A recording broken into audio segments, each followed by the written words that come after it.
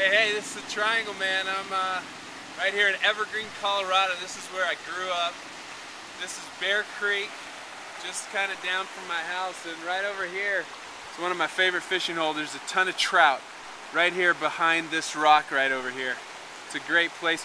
You get, you get your fly rod, kind of bring it back, lay that fly right down there. You can catch a big lunker.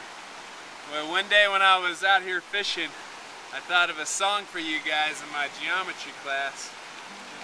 I thought I'd sing it for you. It goes like this, kind of a country number.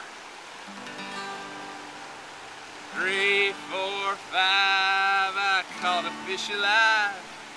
Six, eight, ten, I threw it back again. Five, twelve, thirteen was the biggest fish I'd ever seen.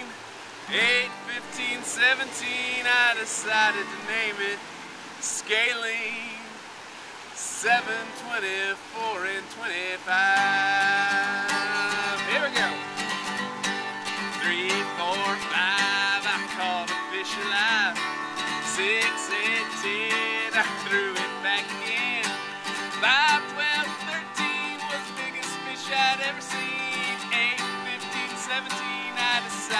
name it Scalene. 7, 24, and 25. Now you may say, Mr. Triangle Man, what is your crazy song about? Well, those just happen to be the Pythagorean triples. And uh, those make up the sides of a right triangle. So if you can memorize my song, you can know your basic Pythagorean triples. Just one more time, just so you don't forget. Three, four, five, I caught a fish alive.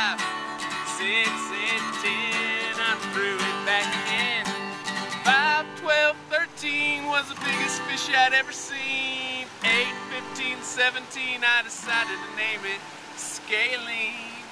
Because you know fish are kind of scaly. And scalene triangles don't have any sides the same.